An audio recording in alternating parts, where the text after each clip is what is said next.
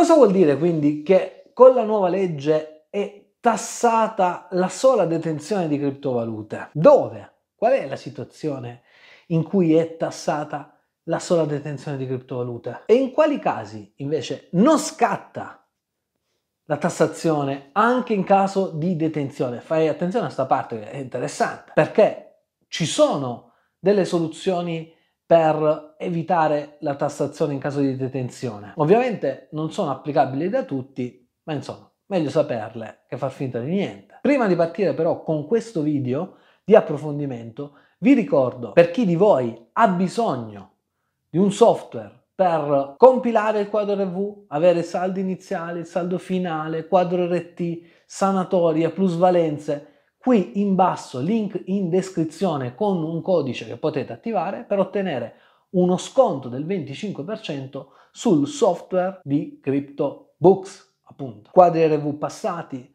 presenti, futuri, partecipare alla nuova sanatoria in basso, provatelo, o meglio, provate ad approfondire questo tipo di prodotto che potreste anche consigliare al vostro commercialista. Io, fossi in voi, lo utilizzerei da solo perché è sufficiente inserire a volte la chiave pubblica, inserire il quadro CSV per andare anche a riscontrare se lo stesso file CSV vi dà dei risultati corretti, perché quello che abbiamo scoperto tramite questo software è che alcuni dati non sono corretti, manco sui file CSV che vengono forniti da parte degli exchange. Comunque, CryptoBooks, qui in link in descrizione se può interessarti. Andiamo avanti. La nuova legge, semplicemente, in buona sostanza, ci dice che se noi vincoliamo, blocchiamo degli asset e questi asset ci producono dei frutti, delle rendite. Il, il caso semplice è il mining, lo staking, l'airdrop. Questi sono gli esempi classici. In sostanza, in caso di staking, tutto ciò che è frutto di quell'attività di blocco delle tue criptovalute messe in stake saranno tassati, tutto ciò che sono i frutti saranno tassati nel momento del realizzo. Un casino un casino pazzesco. Cioè al momento del realizzo è un casino pazzesco. Perché? Perché se mi pagano giornalmente interessi o se ad esempio mi muovo tramite la DeFi, come ne usciamo fuori? Un casino. Però questo è quanto. Ovvio che sarebbe stato più logico seguire il ragionamento che sia stato fatto sullo scambio cripto su cripto, cioè lo scambio cripto su cripto di eh, criptovalute che sono simili. Lasciamo perdere, qui potremmo aprire una parentesi al grande come una casa, perché simili cosa vuol dire?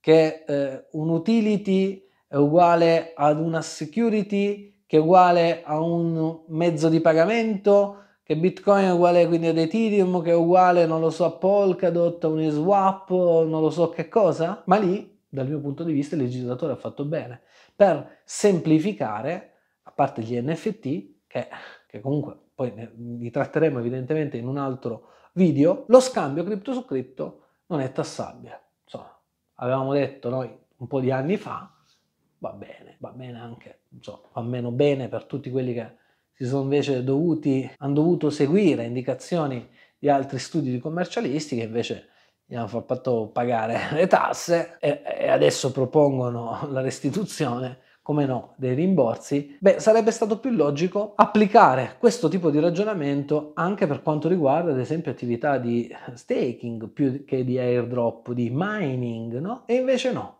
Se tu blocchi degli Ethereum e produci degli Ethereum che ti vengono riconosciuti eh, con scadenza temporale X, ogni volta che realizzi questo nuovo oh, frutto dell'attività di staking, di interessi che ti vengono riconosciuti, tu lì devi individuare qual è il prezzo a quel giorno, prendendolo dalla piattaforma, dall'exchange, come se questo avesse un valore, come se i dati di CoinMarketCap o CoinGecko hanno un valore, diamogli un valore e pagarci sempre il 26%. Questo vuol dire tassazione della nuova legge sulla, nuova, sulla sola detenzione. E ora, quando invece questo non accade, quando non è, non è soggetta a tassazione la sola ed esclusiva detenzione? Beh, semplice, più o meno direi tu semplice, per tutte le criptovalute che sono detenute da chi esercita un'attività di impresa. E a questo proposito ti devo leggere il nuovo comma 3 bis dell'articolo 110 che dice in deroga alle norme degli articoli precedenti del presente capo ai commi dall'1 all'1 ter del presente articolo non concorrono, non concorrono alla formazione del reddito i componenti positivi e negativi che risultano dalla valutazione delle criptoattività alla data di chiusura del periodo di imposta, a prescindere dall'imputazione al conto economico. Chiaro? Cioè, dato che non viene detto nulla sul realizzo in merito alla detenzione di asset detenuti da attività di impresa, va da sé che tutto, Stambaradam, seguirà quelle che sono le discipline, la disciplina del reddito di impresa. Questo è quanto.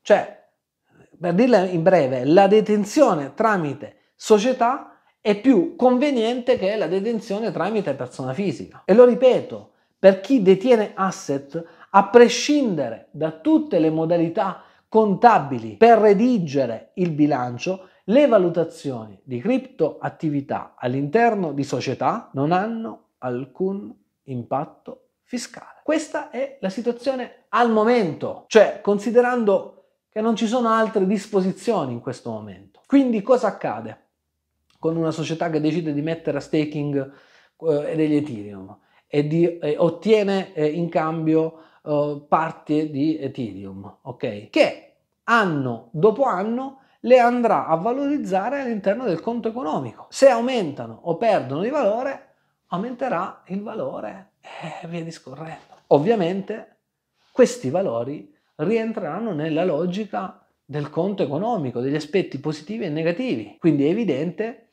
che se uno attua delle operazioni, degli strumenti di pianificazione fiscale per il tramite di una società, riesce a gestirli al meglio, sicuramente a pagarci meno tasse. Questo è quanto. Lo so che per tutti gli altri è un casino, ma questo è quanto.